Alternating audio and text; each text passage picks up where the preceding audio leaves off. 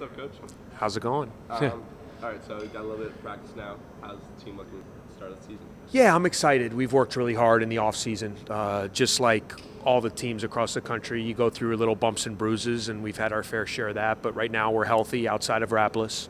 Uh, everybody's out there doing well, and you just get to a point in time now where you have to start playing to, to really see where you're at. You have to start playing against other people because we've been practicing against each other now for a month, and everybody knows all the plays, and it's just hard to get a gauge on exactly where you're at and what your weaknesses are. So I'm looking forward to these next few weeks, uh, you know, playing against some other people and seeing where we're at.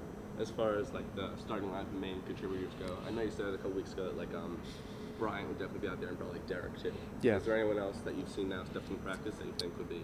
I think it's a fluid situation, really. I mean, uh, and that's not to demean any of the guys. I just think we have a lot of good players that can that can help us. Um, you know, I mentioned those guys in the past, but you know, obviously Vic Law, Scottie Lindsey are going to be huge contributors. Aaron Falzone, Gavin Skelly.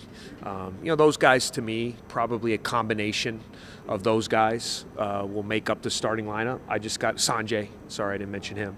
But if you throw those guys, I think probably some combination of three of those guys are going to start. And for me, the challenge is it's not always about who starts the game, it's about what's best for the team you know, you might have one of your better guys coming off the bench because you like their scoring punch or you like the energy they bring. So, um, you know, for instance, a kid like Isiah Brown, I mean, he's a, a really talented player. Uh, his energy coming off, I, I want to bring him off the bench because I just think you bring a guy in who can score and is, is electric and quick and can make plays. I think that can be a, an added thing for a team. Um, do you think you guys have? I mean, just me looking at your roster from this year, last year, it looks like you guys have more versatility and athleticism, and it is different than players you've had in the past, players that you haven't necessarily recruited. So now having all your guys, kind of, mm-hmm. and having like, is that kind of your style of basketball, the more versatile athletic? Yeah, I mean, I think I, I like the way the game's going in terms of skill. You know, I think you're seeing it on all levels, NBA trickling down through college, high school. It's uh, it's going to more of a skill game, positionless basketball.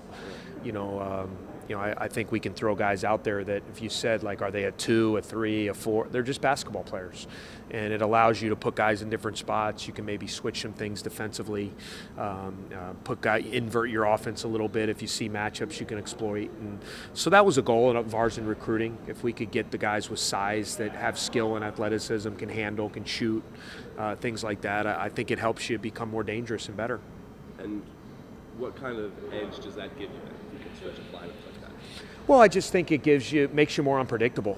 You know, I, I think we've been a good team the last couple years, but we were a little bit predictable. You know, we you had McIntosh, Demps, Olah, you know, and then you had a bunch of guys trying to find their way. And on different different nights, we'd had different different contributors, but it was really those three guys. And excuse me. And for now, excuse, sorry about that cold season. But now, you know, I think like on a different night, I really think we can have five, six guys that on a given night could score 18 to 20 points in a game. That makes it hard for teams to really lock in and prepare for, for different guys. And then how do you balance that unpredictability with still having an identity as a team? Like, what do you want your yeah. identity to really be?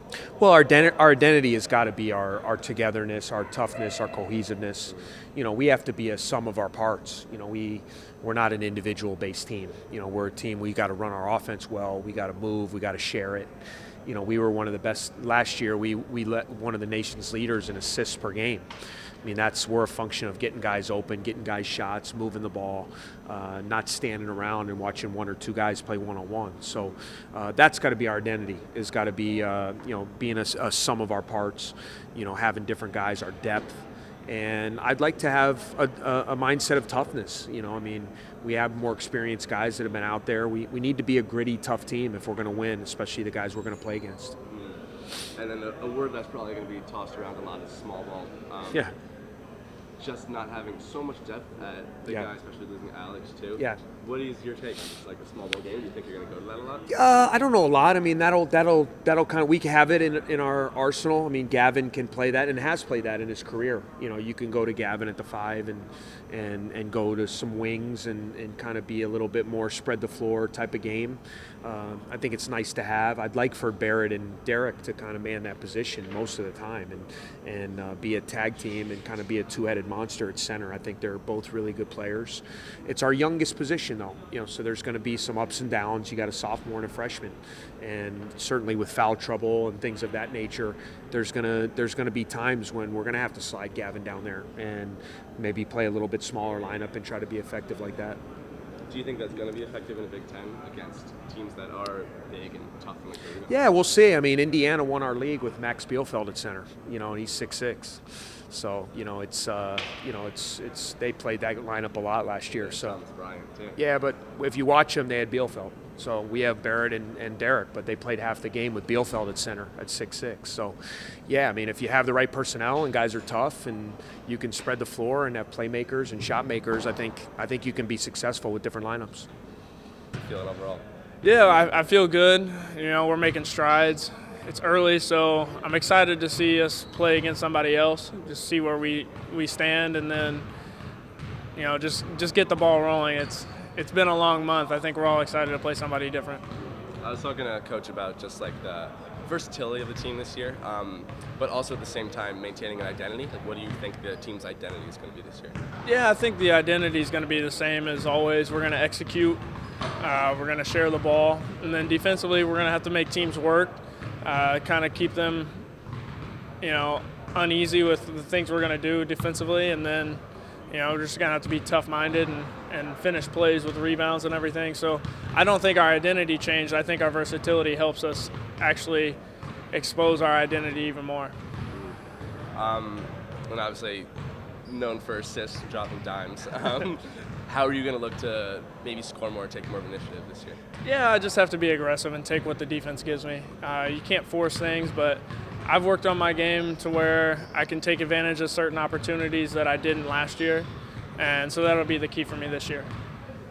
Also, a tougher non-conference schedule this year than last year. Um, how do you think that's going to affect the team?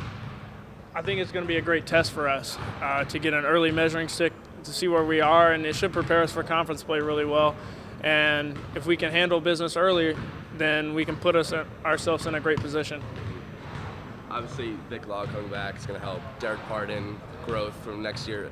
Are there any certain players that you think really need to step up or have been stepping up already that you've seen? Yeah, I think the guys that we need and have been stepping up is Vic and Scott, uh, especially with replacing Tre. He was such a dynamic scorer in the in the backcourt with me. So those two stepping up, and then we need our young guys to, to be ready to play and to contribute. So. And then also losing Alex. Yeah. Pick and roll was huge last year. Yeah. How was that developing this year with Dererk and Barret? Yeah, I mean, t- Alex and I had a tremendous two-man game, and we were certainly dynamic in that. And now it's just teaching these guys the, the positionings and uh, when to roll, when to kind of pop for a little 15-foot jumper. So it's learning, and they're doing a they're doing a good job. So they'll they'll handle it. They'll pick it up. It's we've done a good job trying to help them out and kind of show them the, the ropes a little bit of what, what needs to be done there. And then also the versatility we mentioned. What does that give to the team?